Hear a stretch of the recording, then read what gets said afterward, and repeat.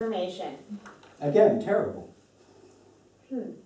You once said that without it, quote, incompetent govern governance can be hidden under a cloak of secrecy. Well, of course. We weren't in power yet. Look, is that your point, that because my position on certain things has changed over the years, that's a reason for you to have no beliefs at all? Coalition with separatists? Yes. Uh, great idea when I was pursuing it, treason when they wanted to do it. Transparent government. You ran on that in 2006. As one does. Anything else? Quebec. No special status, status, or is it a nation within Canada? Whichever works for you. Because these things, these inconsistencies, they're just situational. They have nothing to do with what I really believe. Do you believe in having integrity? Oh, I have a great deal of integrity, and I try to keep it as far away from this building as possible. Besides, integrity is the last thing Canadians want in their politicians. It's like the environment. Voters say they want it until you tell them how much it's going to cost. One more time. The things I say, the positions I take, the strategies I employ are all just a means to acquire power. Beliefs are what you serve once you have the power. And you better figure out what your beliefs are, because I'm going to give you a little power sometime soon.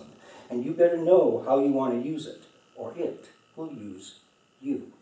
You should go. Ben's got hockey. Yeah, I'll just um, make a few awkward statements and then duck out. Oh, by the way, you don't happen to have a car you'd be willing to crash? No. Uh, too bad. We're about to make some changes to the Environmental Assessment Act. We're streamlining the process. That sounds good. Well, yes, but we're changing the act so that even if a project fails its environmental assessment, Cabinet can still pass it, which is going to be funky. I was thinking you could maybe wreck your car the week that hit. I don't drive, sorry. Mm. Are you sleeping with anyone at the moment? For God's sake, don't tell me. That's not a bad idea. Maybe you could make out with him in a restaurant or something. Anyway, we got two weeks. Think on it. Oh, who's Ben playing again? Uh, Waltz Outdoor Products. Peggy Nash's son, Jonathan, is on that team. Uh, plays right wing. All right, good. I want to ask Peggy about her take on the Greek debt crisis. Oh, poor Peggy. He's gonna ask the NDP finance critic about Greece. He'll talk to anyone about that stuff. Never show any interest in economics when he's around. No problem. I mean it. He started talking to me once about Hayek's concept for the denationalization of money as we boarded a plane in Belarus. The only reason he stopped was because the limo pulled in front of his house. When I got home, I realized I had pooped my shorts just a little. He literally bored the shit out of me. You like him. I admire him more than any other politician I've ever met. Which is why it's going to be really hard to leave this job. Wait, are- are you leaving? Did he fire you? No, not yet, but it's just a matter of time. Either I'll fuck something up or he'll need me to take one for the team during some shitstorm. That's why there's so much turnover in this job. Being chief of staff is like being handed a grenade. It's gonna go off at some point. Mm-hmm. So, are you sleeping with anyone at the moment?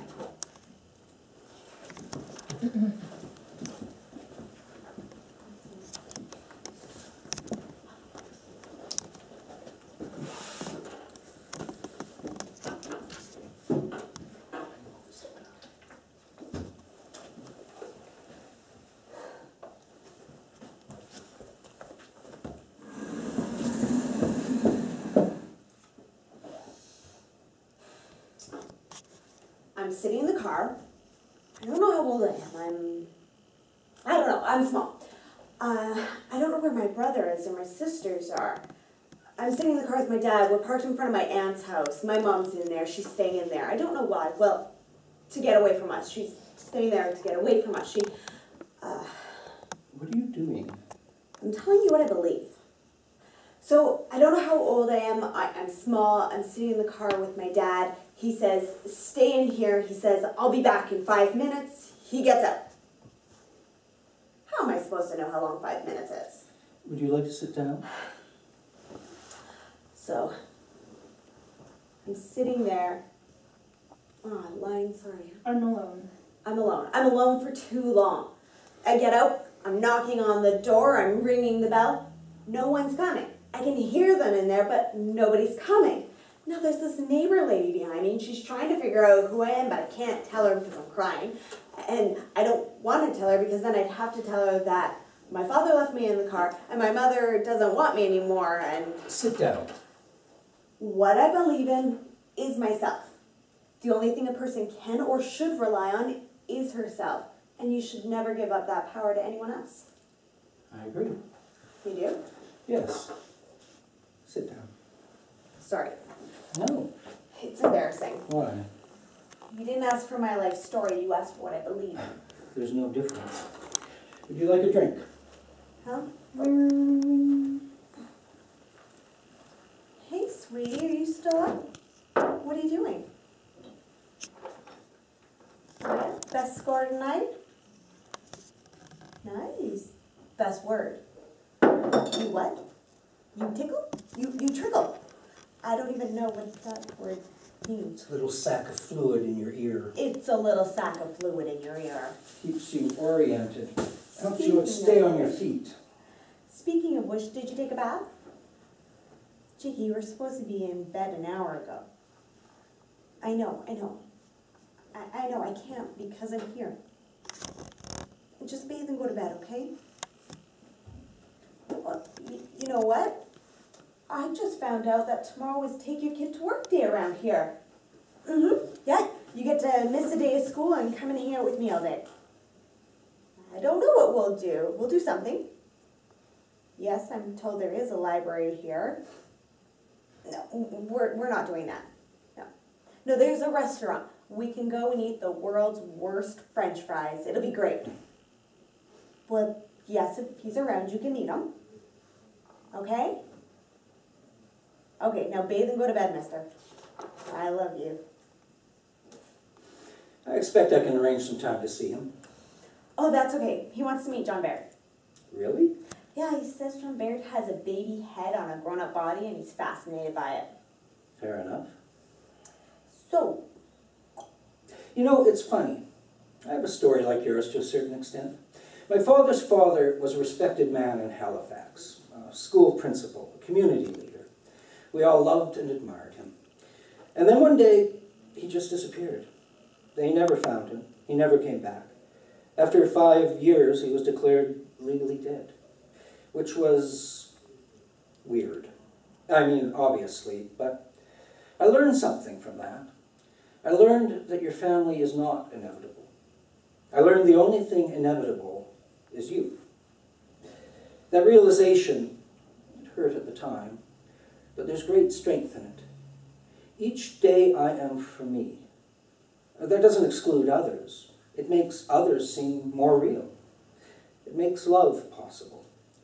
Because as soon as you recognize how truly alone we are, it makes the possibility of coming together more concrete. Did you want this? Ah, sure, I'll have a drink. So, now that you have your principle, self-reliance, what are you going to do about it? No idea. I mean, we make laws here, laws control people. The thing I apparently believe is the exact opposite of that. Hmm. Strauss, Hayek, even Keynes to some extent wrestled with that huge question. Are those those weird guys from New Brunswick always eating together? A philosopher and two economists. They were all interested in the role government played in personal freedom. Isn't government the opposite of personal freedom? No, actually, making humans more self-reliant is one of the things government does best. Have you had a hamburger lately? Mm, Yeah, at lunch. Fries were terrible. Did you die after you ate that hamburger? No. On behalf of your federal government, you're welcome. People don't want to be left alone. They want a functioning society in which way things work the way they're supposed to, and hamburgers don't kill people. I spent a long time studying as an economist. I learned that money is the only thing standing between you and money using you. You know what money doesn't give a shit about? What? anything. Left alone, money is the single biggest threat to your being self reliant. And I say that as somebody who believes wholeheartedly in free markets. That realization led to the uh, creation of the welfare state. The intention was to free people to the greatest extent possible from the cold, indifferent grip of money. Why do you sound like some sort of socialist right now? because they got the problem right. The trick is, the trouble comes when you start to try to figure out how to fix the problem. For example, we say that freedom from hunger is a right in a rich society, which in itself is a great intention. But the attempt to address the problem legislatively leads to the creation of two groups, clients and administrators. And the creation of those two groups creates a problem as bad as the original one. Start with the administrators. The administrator's job is to get rid of hunger. But if he gets rid of hunger, uh, his work is done and he's out of a job. So he has to constantly keep changing the definition of hunger. Changing the definition is known in bureaucratic circles by a different name, raising standards. Now, on the client side, the problem is Because that people cheat the system, they abuse it. no, the number of people who abuse the system is statistically insignificant. No, the problem is that once a right has been achieved, it's taken for granted. You're a great example of this. A single mother who's had multiple state-sponsored abortions and is now a member of parliament. A couple of generations ago, that sentence would have seemed bizarre. But you wake up every morning and remark on the advances women have made in the last 50 years? Right. I spend most of my day trying to get you guys to stop staring at my tits when I'm making a point. Yes, so Not you, by the way. I, I'm saying you never get distracted by the girls. um, I've never caught you looking at my breasts. well, Are, are they no good? It's a bit insulting, actually. Hmm. I, listen, I, Or are you too good for them? Hmm. what? Too good for my breasts? No, I, I, listen, Oh, oh, look at them. well, Just look at them. well, no. Geez, you're too good for my breasts. Hmm. Come on, stop, look, yes. Nice, okay. Okay. So, the point is, the client side is constantly taking every right for granted. The administrators are constantly raising standards. And politicians get elected by saying yes to the cycle of uh, assumed rights and rising standards. But if you say no to the cycle, you're accused of uh, lowering standards and taking away people's rights. So that's you. You're the guy who finally says no. You're the guy nobody wants to be. Well, that's my persona, yes, but my purpose. Look, I didn't get into politics because I looked around and I wanted to be a hatchet. I'm not a sadist. I'm here for the same reason you are, as it turns out. I want to defend, no, I want to revive the notion of self reliance. I knew it. What? You and me. We're the same. Isn't it interesting how you can always tell when you're in the presence of somebody who's basically the same as you are, even if he comes across as a motherfucking asshole? As I said, that's just my persona. Mm-hmm. Sorry. No, no. You know what? You're right. We are the same. Well, anyway, you solve one economics problem, you create half a dozen based in human nature. And human nature, Elizabeth, is much more complicated than economics. That's funny. You're still afraid of my first name. One more. No, I'm sorry, I should have offered you another. Uh, that's okay. I'm self-reliant. Keep going. Leo Strauss, the guy I was talking about, said there are two kinds of nihilism. Do you know what that is? Nihilism, like, fuck all this shit. A, uh, yes, a prevailing absence of values leading to a sense that life is meaningless. Uh, Fuck, all this shit is fucked. yes, uh, the first kind of nihilism uh, leads to fascism. The other kind, which Strauss says we have, is a sort of prevailing, permissive, egalitarian, everybody's ideas are equal kind of situation. The biggest problem with the client and the administrator? Both are Canadian. So the transaction is going to be polite. It's going to be non-judgmental. It's going to be, it's all right. However you got into this situation, however you became a client of the state, it's okay. I don't judge you. We are equal. What's wrong with that? It's not true. The exact opposite is true. In that moment, they are completely unequal. But because we're not able to be judgmental, we're not able to examine what might be wrong with the situation. Judgment is necessary.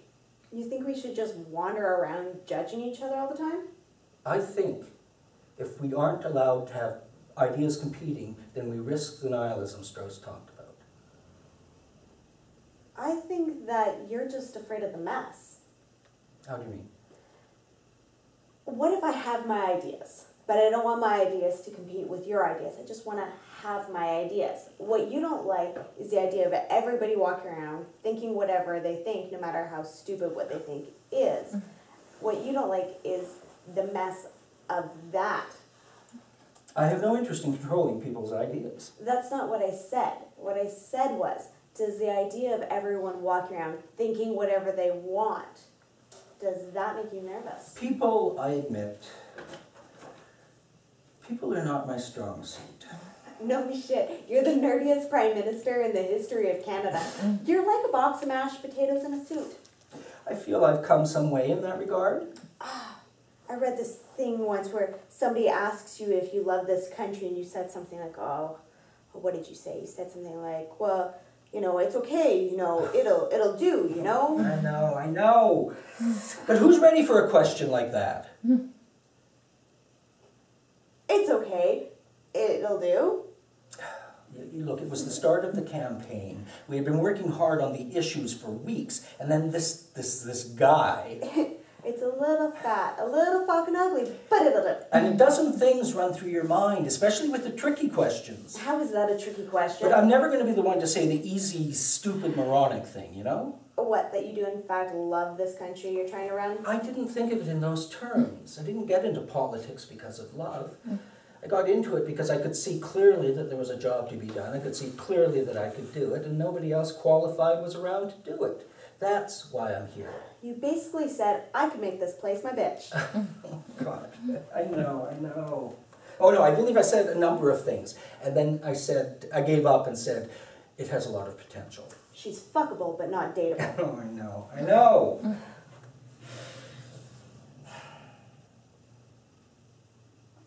I could answer it now, though. Yeah? Yeah. Because before, when I was asked that stupid fucking moronic question, I haven't been up north yet. You ever been up there? I spent a month in Sudbury one weekend. It's incredible. it's big, actually big, and just empty. I just, I relax when I go north. And underneath it all, there's this richness. 25% of the world's oil and gas reserves buried, locked underneath, too expensive to extract. Ours, but not ours, you know? Mm-hmm. Social retard likes the isolation. That is an acute observation. Oh, by the way, we're gonna let your bill get to second reading, Okay. which means uh, you're going to have to defend it at committee. Okay. There's still no chance of this passing though, is there? Uh, no chance at all. Okay, good.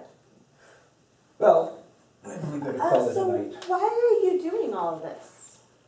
Which? This, why is a social retard putting himself through the endless bullshit of politics? Is there a goal, an end point? Oh, yes. You're not gonna be one of those guys who just hangs on to power as long as possible? Nope. So what's the goal? The goal is simple. It's a number. It... Now, you know what? First, I'm going to tell you what the goals aren't. I'm going to tell you what I don't care about. Okay? You might need a drink for that. Yeah. Yeah, what the hell? Okay, first of all, I don't care about abortion. By which I mean, I don't care about it as an issue. I have personal feelings wrapped up in my faith, but I don't care about it as your prime minister. See the difference? Mm-hmm. I don't care about gay marriage, or gun control, or building prisons, or the British monarchy. I have nothing against artists or the CBC. I don't care about hospital wait times. I don't care about the United Nations. Uh, and I don't care about regional alienation, a thing I am renowned for caring about. Uh, I don't care about the national long form census. I don't care whether drugs are criminalized or decriminalized. And I, oh God, I do not care about the motherfucking Senate. I don't care if they build a walkway from the shore to the airport in Toronto. I have nothing against David Suzuki. I um, don't care whether the world sees us as peacekeepers or bad asses. I don't care about Israel. I don't care what price our wheat sells for. I don't care if our pipeline goes south to the States or all the way to China. I don't care if our new boats get built in Vancouver or Halifax. I don't care about Nickelback. You know that great debate about whether uh, human rights tribunals uh, uh, uh, create freedoms or inhibit them? Yeah. I don't care. I don't care where the salmon went or why they came back. I don't care about multiculturalism. I don't care if you leave the country for 40 years and then come back and try to run it. I don't care how political parties are funded. I actually don't care about the price of gas. I don't care who is torturing who in Afghanistan or why. I don't care who the President of the United States is, and I do not care if your kid plays hockey or the accordion. I don't care. I'm so hot for you right now. What I do care about is this. I want an appropriately sized government. A smaller government. No, that's the wrong way to look at it. The government can be any size it wants to be as long as it's appropriate for the size of the country it serves. Our government is just a little too big to be supported by the country. Just a little. So I want to restrict government growth by, by a few percentage points a year, and that's it. That's it. That's my whole thing. And I'm out of here. You said it's a number. That doesn't seem. Oh, that doesn't seem like much of a goal. Exactly. But you know what? It's like the country is a tiny kitten, and I keep saying I want to punch it in the face. The first thing I learned when I got into politics was that attempting to nudge the country just a little bit, just a little bit, towards being more self reliant would make me into the devil himself. I don't believe we are in danger of descending into nihilism. I don't think we're in danger of being overwhelmed by the welfare state. I just think we could actually be happier if we moved away from those things just a tiny bit. And slowly, incrementally, under the cover of all the things people think I care about, that's what I'm doing. It's a number? Yeah, sorry? You said it's a number. Yes, it's a number. That's the beauty. It's, um, and once I hit that number and put in some controls to keep us on that number, that's it. I'm done. The debt to GDP ratio, the amount of federal debt relative to how rich we are as a nation. Depending on who you talk to, right now it's around 30%. I want to get it to 22%, keep it there. What about just eliminating the debt altogether? Debt can be very useful. We live, we are part of a world of debt. When countries finance each other's debt, they remain interconnected in some very useful ways. But the amazing thing is, if you reduce that magical number from 30% to 22%, something incredible happens. What? We get happier. We get happier. And think about it. You, you tighten things up just a little bit, and all of a sudden you have to make a few more decisions. Fund this initiative, don't fund that one. Do this, don't do that. Debate becomes important. People become politically engaged. And when people live engaged lives about anything, their lives are more meaningful. And a life that is more meaningful is a happier life. Um, but when I, what, sorry, what? But for some reason, when I tell people this, what they Well, sorry, yeah, okay. But for some reason, when I tell people this, what they hear is